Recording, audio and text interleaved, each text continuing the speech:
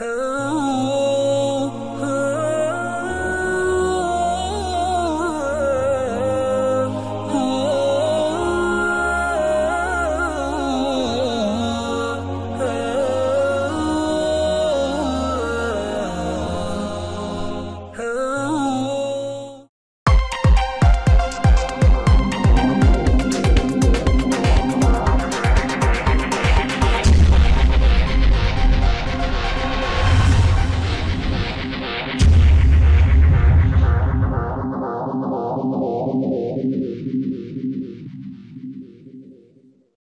Assalamualaikum warahmatullahi wabarakatuh. Selamat berjumpa lagi dengan serial silsilah Nabi-Nabi di TV Peradaban. Pada episode 2 silsilah Nabi-Nabi kali ini Kita akan mengungkap tentang Nabi Idris alaihissalam Nabi Idris alaihissalam adalah keturunan Adam yang pertama kali menerima nubuah setelah Adam dan Syed Keberadaan tentang Nabi Idris alaihissalam ini berdasarkan pada Al-Quran yang tertera dalam surat Maryam ayat 56 sampai 57. Dan ceritakanlah hai Muhammad kepada mereka kisah Idris yang tersebut di dalam Al-Quran. Sesungguhnya ia adalah seorang yang sangat membenarkan dan seorang nabi dan kami telah mengangkatnya ke martabat yang tinggi. Dalam kitab Kisosul Ambia, Ibnu Katsir menuliskan riwayat masyhur yang menyatakan bahwa Idris wafat di langit keempat sebagai penjelasan dari ayat di atas dan kami telah mengangkatnya ke martabat yang tinggi. Ka'ab al-Ahbar, seorang tabi'in di era Khalifah Abu Bakar radhiyallahu an, menceritakan sebuah riwayat bahwa suatu saat Idris mengatakan pada salah satu malaikat, Sesungguhnya Allah telah menurunkan wahyu kepadaku berupa ini dan itu. Maka sampaikanlah kepada malaikat maut agar dia menunda ajalku sehingga aku bisa menambah amalku.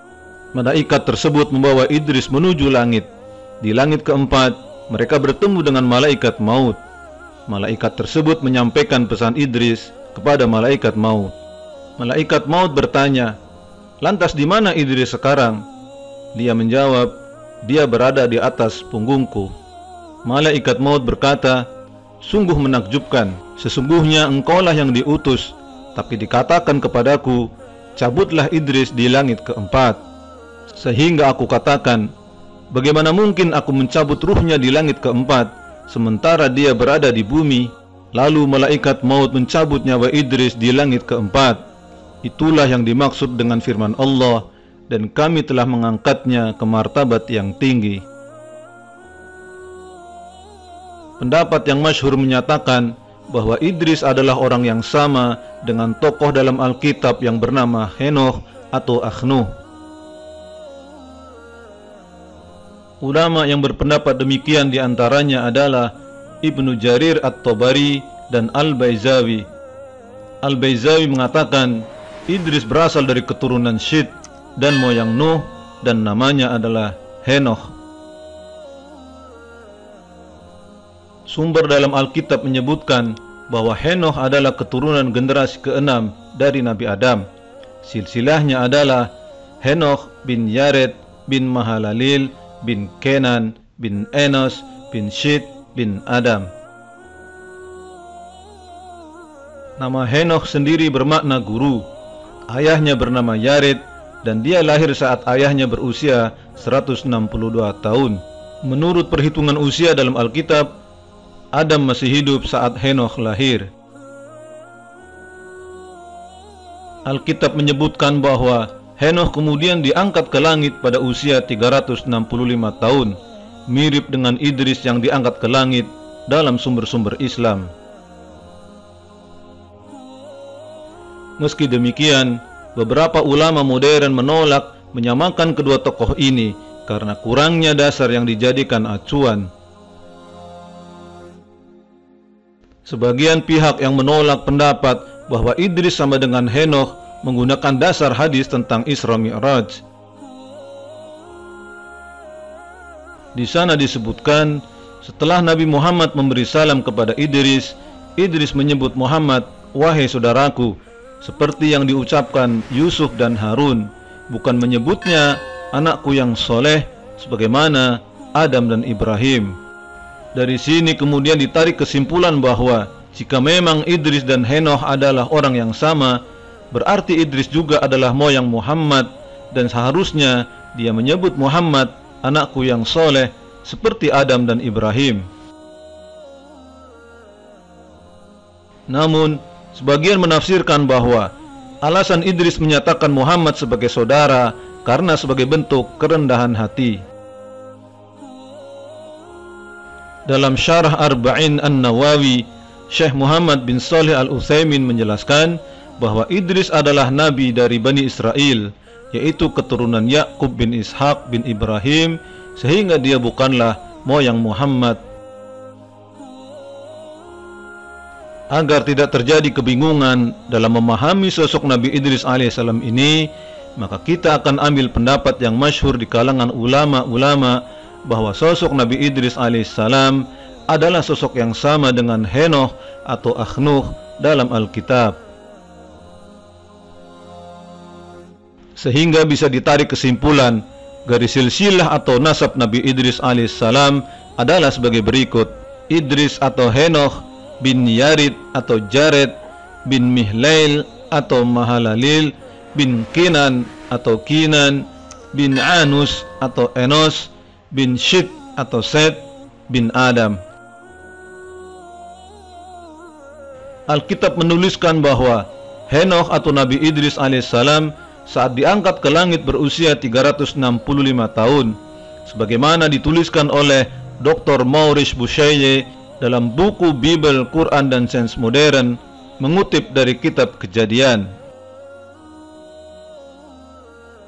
Diperkirakan Nabi Idris hidup antara tahun 4553 sampai 4188 sebelum Masehi dan mendapatkan tugas kenabian di wilayah Irak kuno atau Babilonia dan Mesir atau Memphis. Terdapat perbedaan mengenai riwayat Nabi Idris alaihissalam.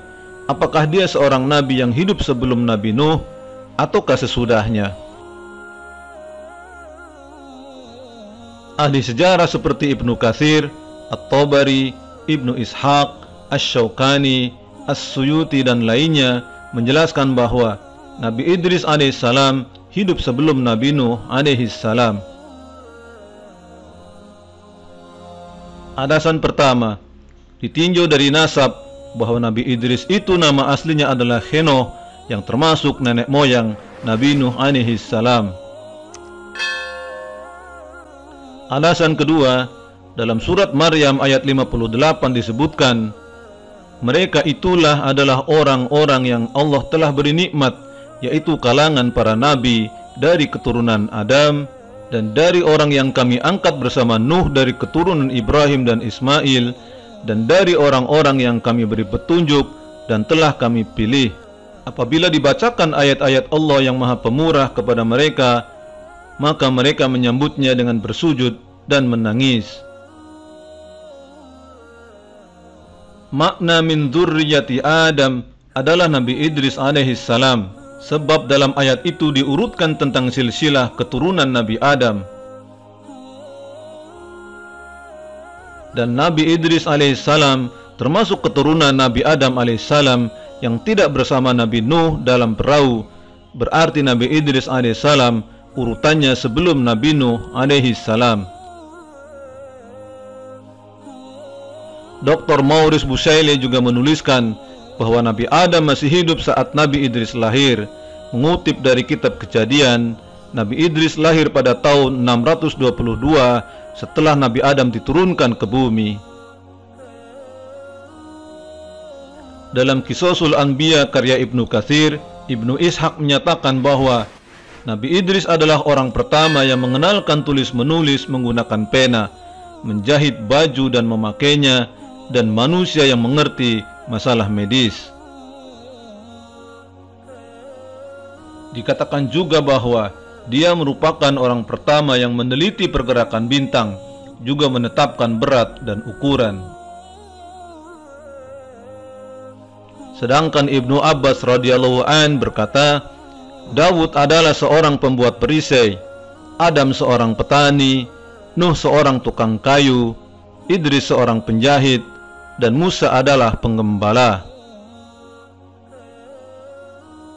Nabi Idris lahir di Babilonia dan menjadi nabi yang diutus untuk bangsa Babilonia. Tapi setelah bangsa Babilonia tidak bisa lagi didakwai dan banyak melakukan dosa, Nabi Idris berpindah ke Mesir untuk melanjutkan dakwahnya di Memphis. Nabi Idris diangkat ke langit keempat dan dicabut nyawanya oleh malaikat maut di langit keempat sebagaimana riwayat masyhur yang sudah kita bahas sebelumnya. Wallahu a'lam bissawab.